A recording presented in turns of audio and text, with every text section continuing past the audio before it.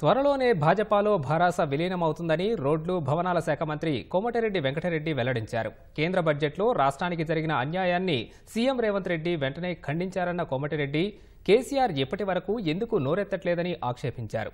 చంద్రబాబు నితీష్ మద్దతు ఉపసంహరించుకుంటే ఇండియా కూటమి అధికారంలోకి వచ్చి రాహుల్ గాంధీ ప్రధాని అవుతారన్న భయంతోనే ఆయా రాష్ట్రాలకు అధిక కేటాయింపులు చేశారని విమర్శించారు. బడ్జెట్లో ద్రోహాన్ని నిరసిస్తూ నీతి ఆయోగ్ సమావేశాన్ని దక్షిణాది రాష్ట్రాల ముఖ్యమంత్రులు బహిష్కరిస్తున్నట్లు వివరించారు. వచ్చే పంచాయతీ ఎన్నికల్లో భారాస పూర్తిగా కనుమరుగైపోతుందని జోస్యం చెప్పారు. హండ్రెడ్ పర్సెంట్ అవుతుంది చర్చలు నడుస్తున్నాయి.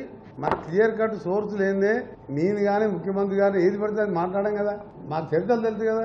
అటువైపు అడుగులు పడుతున్నాయి కాబట్టి కేంద్ర ప్రభుత్వం తెలంగాణ వ్యతిరేక బడ్జెట్ పెడితే తెలంగాణ నిట్ట మును ఉంచితే కనీసం తెలంగాణ పేరు తీసుకోకుంటే ఎందుకు మాట్లాడతలేడు? ఇంత మంచి ప్రవేశ బడ్జెట్ ప్రవేశపెట్టిన మా ప్రభుత్వాన్ని తీల్చెండాడతావు నువ్వు రేపో మాపో విలీనం కాబోయే పార్టీలో కేసీఆర్ వాళ్ళ కొడుకు హరీష్ రావు ఎందుకు ఇప్పటికీ ఆ బడ్జెట్ మీద మాట్లాడలే?